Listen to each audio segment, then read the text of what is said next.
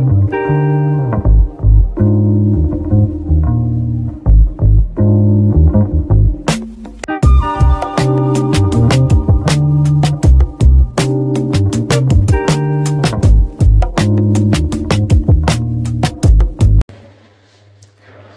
pessoal, tudo bem? Mais uma novidade em relação ao BRT do Rio de Janeiro, em relação ao projeto de levar o BRT Trans Brasil até Santa Cruz.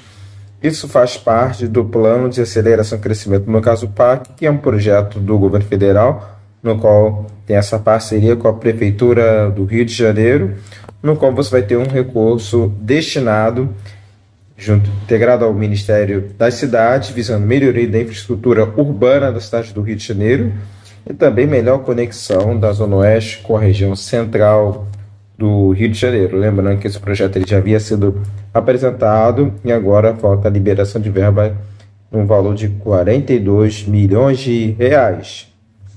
Só que não tem detalhe de como será o traçado e quantas paradas serão realizadas até Santa Cruz. Um detalhe é que quando, quando for construído, ele vai atender ao novo terminal do BRT de Santa Cruz. Atualmente, as conexões funcionam da Zona Oeste até BRT Trans Brasil, contamos com linhas do Terminal Deodoro até Bangu e de Terminal Deodoro até Campo, Campo Grande. Ainda nós não temos linhas fazendo conexão entre Deodoro até Santa Cruz no momento.